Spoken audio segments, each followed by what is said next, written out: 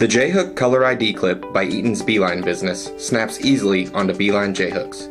This allows for visual verification that cables are installed correctly in their designated pathways. The snap-on toolless design allows the contractor to attach the clip before or after the J-hook has been installed. It can also be installed on riveted as well as tiered J-hook cable management systems. Because the clips and J-hooks are both stocked items, they are available to ship same day or next business day.